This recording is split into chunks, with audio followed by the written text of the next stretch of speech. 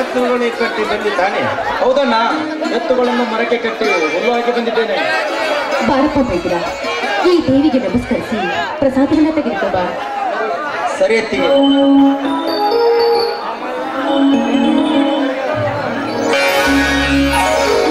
ಅಣ್ಣ ಅತ್ತಿಗೆ ನನಗೆ ಆಶೀರ್ವಾದ ಮಾಡಿ.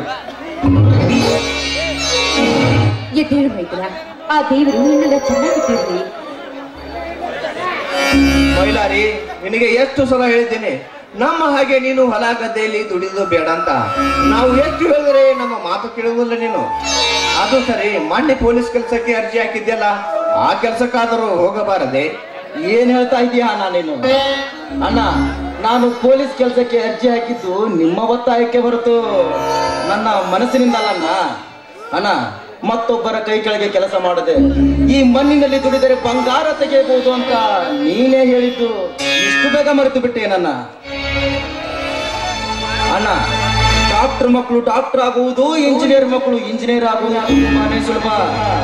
ಆದ್ರೆ ನಾವು ಅವರಂತೆ ಆಗಿಬಿಟ್ಟರೆ ಕೃಷಿ ಕೆಲಸ ಯಾರು ಮಾಡ್ತಾರಣ್ಣ?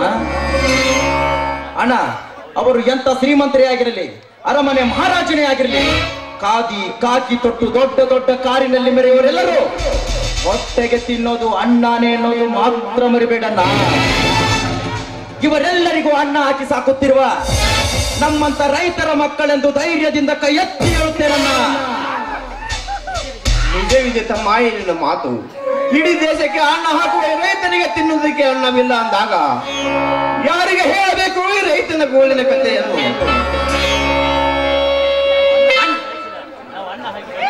ನಾವು ಅನ್ನ ಹಾಕಿ ಬೆಳೆಸಿದ ರಾಜಕಾರಣಿಗಳಿಗೆ ಬೆಲೆ ಕೊಡುತ್ತಾರೆ ಅಂದಾಗ ನಮ್ಮಂತ ಬೆಲೆ ಅಣ್ಣ, ರಾಜಕೀಯದಲ್ಲಿ ನಿಂತುಕೊಂಡು ಕೋಟಿ ಕೋಟಿ ಸಂಪಾದಿಸಿದರೆ ಹೊಟ್ಟೆಗೇನು ನೋಟುಗಳನ್ನು ತಿನ್ನಬೇಕಾಗುತ್ತೆ ನನ್ನ?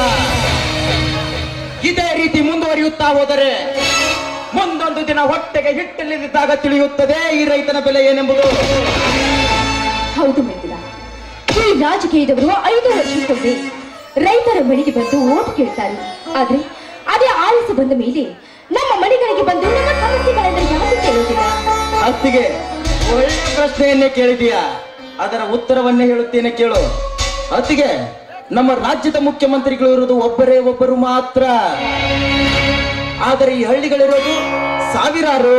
ಈ ಸಾವಿರಾರು ಹಳ್ಳಿಗಳಿಗೆ ಅವರೊಬ್ಬರ ಬಂದು ಭೇಟಿ ಮಾಡುವುದಕ್ಕೆ ಆಗುವುದಿಲ್ಲವೆಂದು ತಿಳಿದು ಪ್ರತಿಯೊಂದು ಹಳ್ಳಿಗಳಲ್ಲಿ ಗ್ರಾಮ ಪಂಚಾಯತ್ಗಳು ಅದರ ಮೇಲಾಧಿಕಾರಿಗಳಾಗಿ ತಾಲೂಕ್ ಪಂಚಾಯತ್ಗಳು ಇರುತ್ತವೆ.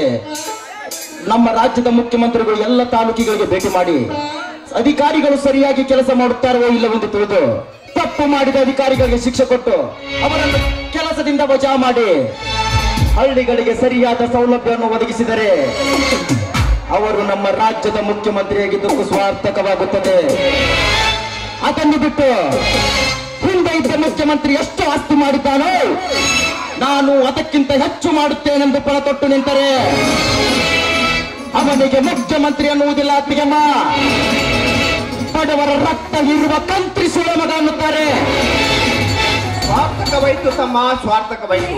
ಈ ರೈತನ ತಮ್ಮನಾಗಿ ಹುಟ್ಟಿದಕ್ಕೂ ನನ್ನ ಜನ್ಮ, ಸ್ವಾರ್ಥಕವಾಯಿತು.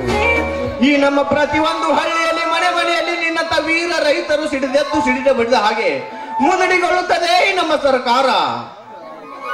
ಇನ್ನು ಮುಂದೆ ರೈತನ ಉಸಿರು ದೇಶಕ್ಕೆ ಹಸಿರು ಎನ್ನುವುದು ಅವರಿಗೆ ಅರ್ಥವಾದರೆ ನಮ್ಮ ರೈತರಿಗೆ ಸರಿಯಾಗಿ ನೀರಾವರಿ ಯೋಜನೆ ಹಮ್ಮಿಕೊಂಡು ವಿದ್ಯುತ್ ಮೂಲವನ್ನು ಕಡಿಮೆ ಮಾಡಿಸಿ ಬೀಜ ಗೊಬ್ಬರ ಸರಿಯಾದ ಬೆಲೆಗೆ ಸಿಗುವಂತೆ ಮಾಡಲೆಂದು ನಮ್ಮ ಮುಖ್ಯಮಂತ್ರಿಗಳ ಪರವಾಗಿ ತಂದೆ ಗಂಗಾಧರಿಗೆ ಸಿರಬಾಗುತ್ತೇನೆ. ಹಾ ನಡೀರಿ. ಹೊಟ್ಟೆ ತುಂಬಾ ಹಸಿವಾಗಿದೆ. ಆ ಮರದ ನೆಳಗೆ ಕೊಟ್ಟು ಊಟ ಮಾಡೋಣ. ಆಗಲೇ ಅಯ್ಯೋ ಮೈದಿನ ಬಾರಪ್ಪ ಇಲ್ಲಿ ಈ ಊರಲ್ಲಿ ಯಾವ ಹುಡುಗಿರ ಕಣ್ಣು ನನ್ನ ಮೈದನಿಗೆ ಬೀಳದೇ ಇರಲಿಲ್ಲ